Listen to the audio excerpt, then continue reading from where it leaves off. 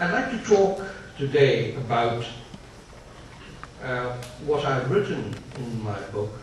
I chose to uh, entangle uh, or decipher what was happening in the post-Cold War era of what my uh, Marxist background would suggest is the contradictions within uh, human development as to what are the forces that force uh, progress and the forces that negate it or who fight for the right to uh, hold that privilege that allows them to exercise control and command over vast millions of people that essentially are either consumers or employees uh, to enhance the bottom line of a whole lot of uh, entities right across the world.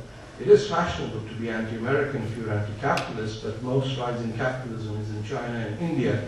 But that's not too fashionable because they just don't fit into that anti-Uncle Sam attitude.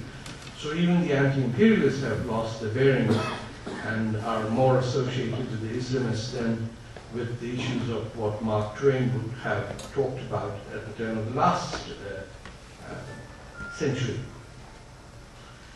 What has happened since 1990 is that the end of the Cold War, or in Eric Hobsbawm's uh, terms, the end of the age of uh, extremes, which essentially he uh, identified as starting at the First World War um, uh, with the Bolshevik Revolution, uh, which came directly as a result of a hundred years earlier struggles in Europe, the creation of a society that essentially was a challenge to uh, colonialism and basically, John Reed's word, 10 days that shook the world.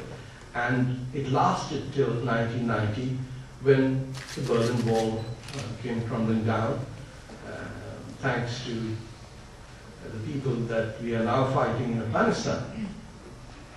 But what happened uh, in the generation of my parents, or my generation, I'm turning 60 on November 20th, uh, is that we, sorry? I'm the same birthday as you. Oh, so is Robert Kennedy year, but we better not get shocked. Um, what happened was that in those four generations, people were identified by what they thought and what they created. So human beings were categorized as socialists or uh, free market uh, uh, believers or Fabians or anarchists or Trotskyites or nationalists or pacifists or civil rights activists.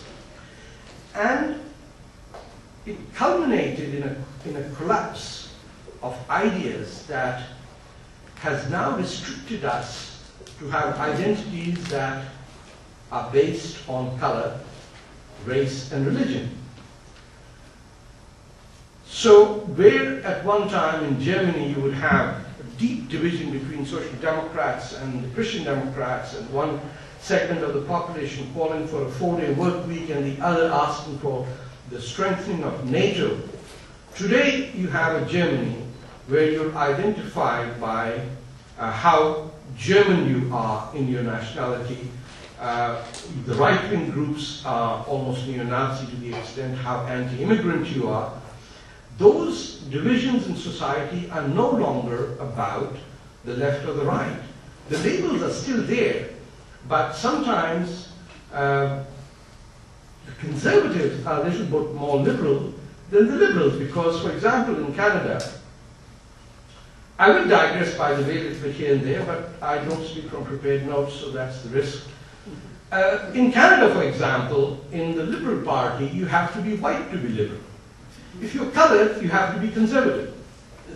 Because, in a bizarre form of racism that defies any explanation, uh, Mr. Ignatieff and uh, uh, Bob Rae just have to be very firm believers in liberalism, individual liberty, uh, uh, a dash of social democracy, etc.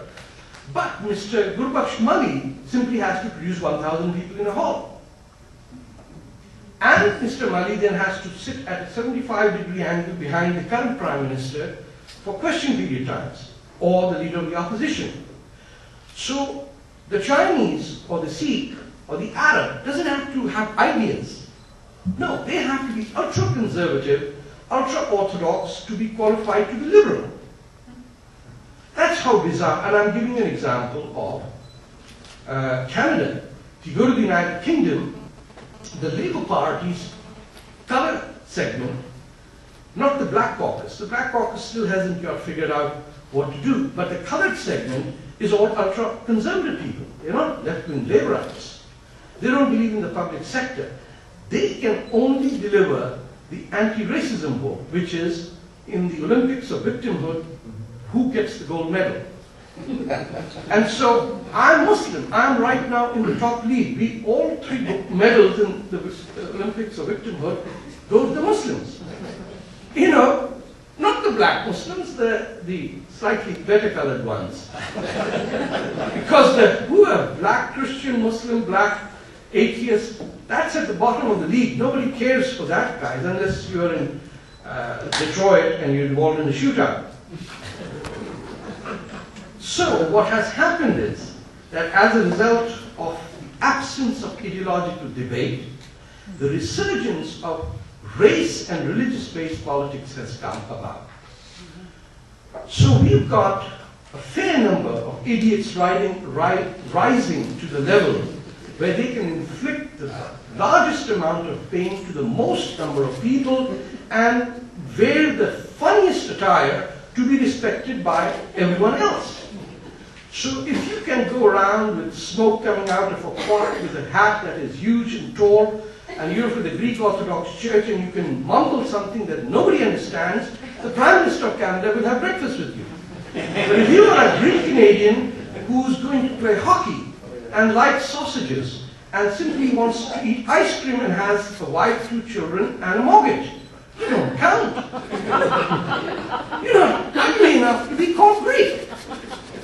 That's how bad things have become. And religious tyranny has gone to the extent that we now have rabbis saying that on Sabbath you cannot take elevators.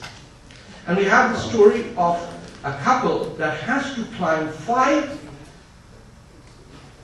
sets of stairs with uh, seven flights of stairs with five children on, in Sabbath because God will be angry if you take the elevator. And educated people with sometimes graduate degrees in anthropology and sociology submit to that nonsense. We've got people who've proven to the Supreme Court of Canada that the child going to school with a dagger is a holy thing. It's a religion of peace. You couldn't have done that in the Cold War. Because people would have discussed and debated the validity of your ideas. They would have said, there is no merit to the argument that a young boy should wear a dagger stitched in his inside shirt as a matter of piety and peace. People would have said that the flag of Saudi Arabia with a sword underneath it takes away the right of the Saudi government to say, we are a people of peace. So what has happened is that from the red states, uh, uh, nut bars of uh, Christian evangelicals, hate mongers, to Sikh extremists, to uh, rabbis that hate elevators, to uh, uh, Hindu priests who burn Christians in vans because it is a holy thing to do, and Uh, desecrate Muslim graveyards in India as an act of worship. Everything is fine because there's only one slogan that they can read. I am proud to be dash, fill in the blanks, Canadian. I'm proud to be German. You did nothing to be a German. It's your parents who did something. And even they're not proud of what you're saying. but here's the problem that we have for the Muslim community, and that's why I wrote this book. Let us Take the extreme case of all Jewish people in the world going crazy like that rabbi and saying,